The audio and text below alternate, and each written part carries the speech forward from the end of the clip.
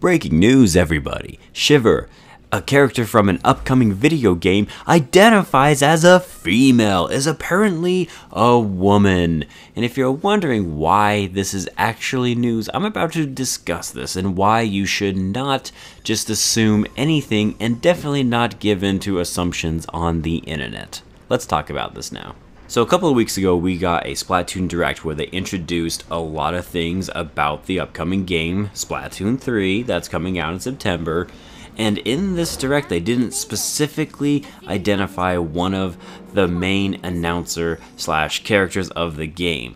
Shiver is her name, and during this Direct, they did not specifically indicate that this person identifies as a female. So naturally, a lot of people started speculating and just started assuming that Shiver was going to be quote unquote Nintendo's first non binary character. And the reason why they assumed this was, like I said, is because they specifically took one or two sentences from this whole thing and said, look here, this confirms that Shiver is in fact non binary. With one problem that I saw in this whole thing, and that's the fact that this isn't an official confirmation from Nintendo themselves.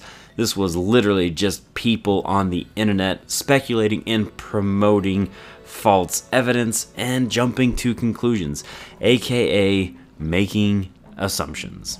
So now we have Nate Bihldorff, who is Nintendo's SVP of development, coming out and confirming officially that Shiver is not a they, but is in fact a she. The thing that's really annoying about this whole thing is just the sheer fact that I never thought it was a big deal to begin with. Look, I don't really care if it turned out that Shiver was non-binary.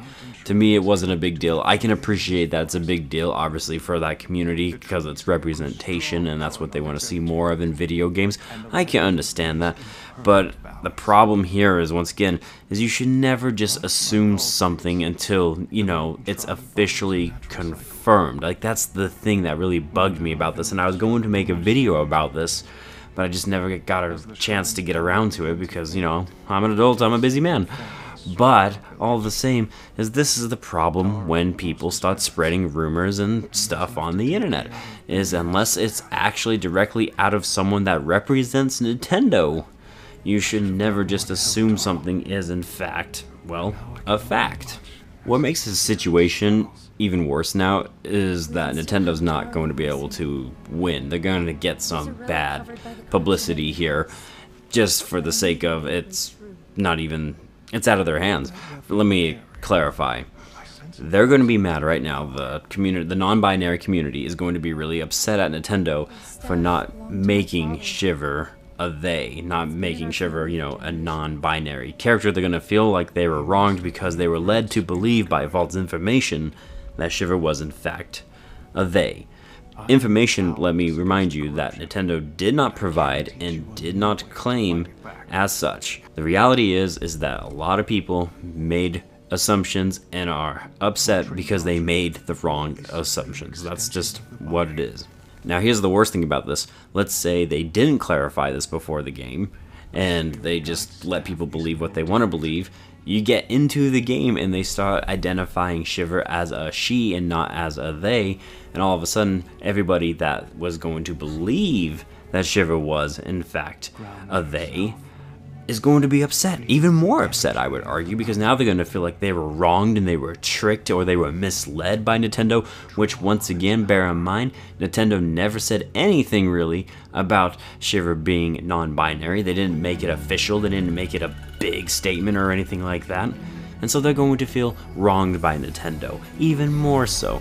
So they didn't have a chance. Nintendo never had a chance in this situation to come off as the good guys. So they're just trying to get ahead of it right now. That's why they had to have someone come out and say, hey, Shiver's actually a girl, because in the game, that's already been developed and is going to be releasing soon they're not exactly going to be able to change the fact that she's a she in the game. I'm certain they have a lot of references and already scripted scenes where it's clear that she is in fact a she.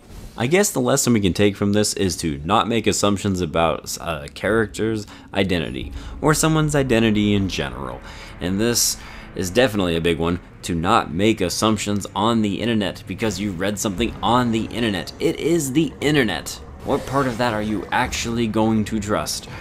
That's the thing about this is never trust assumptions and don't go out making assumptions and treat it like it is fact because once you discover it is in fact not a fact, it's just going to make you hurt and annoyed and upset, but you really only have yourself to blame.